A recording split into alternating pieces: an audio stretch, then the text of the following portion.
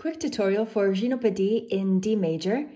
It starts with a G major 7 chord, and then D major 7, again G major 7 chord, and D major 7. And for the melody, we come all the way up to F sharp,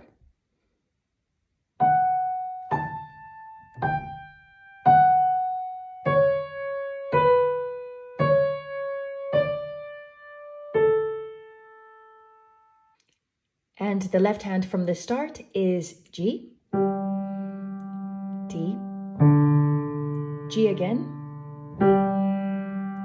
D again, G major, D major 7, G major, and D major 7.